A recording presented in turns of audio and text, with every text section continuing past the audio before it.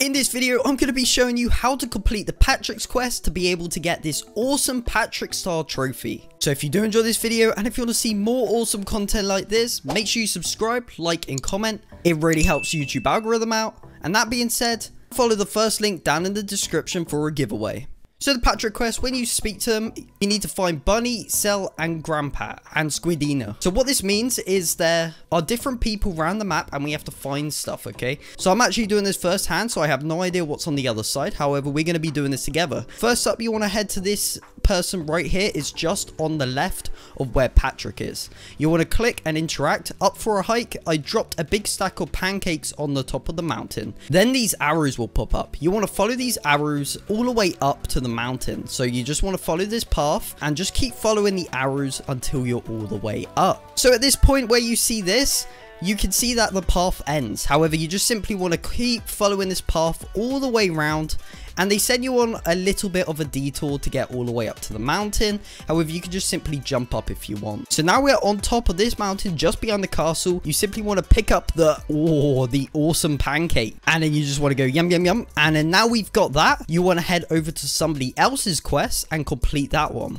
So now you're back at spawn after completing this quest, you want to visit this person right here, just simply just outside of the fishing area. You want to interact with Squeenina and have a look. Listen up Beef Plays, there is a box of Kelpo in the lake and I need you to find it. Will do. So we just simply want to follow these arrows again until we find it. So we can just simply head down this path all the way around until we find this, okay? So this is the next thing that you need to get.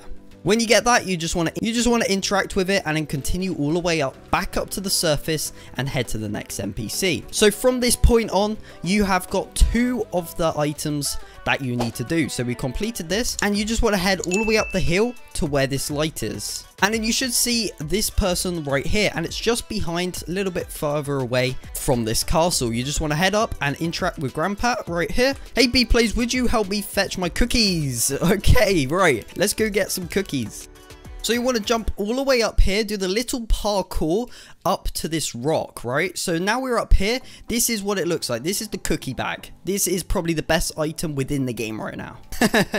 right, so now we've got that. We can head all the way back. Okay, to find Bunny, what you want to do, you want to head to behind this portal where the slime island is. Right here, okay? So this is the person you speak to last.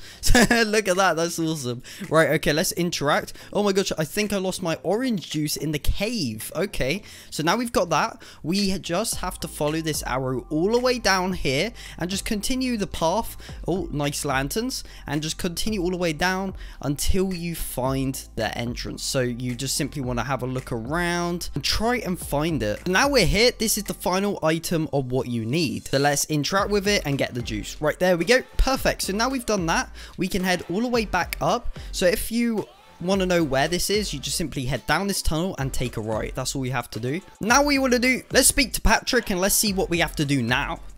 oh, whoa, thanks B-Plays. I have this for helping. Take gift.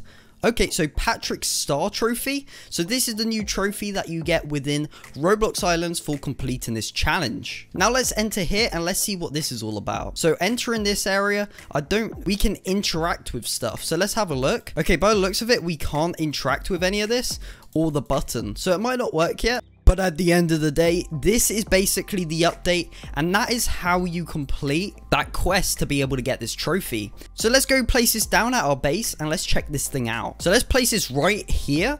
Okay, look how awesome that is. Look, it's got like a bit of reflection to it as well. That is cool. So that is the update inside of Roblox Islands. It is a fairly small update.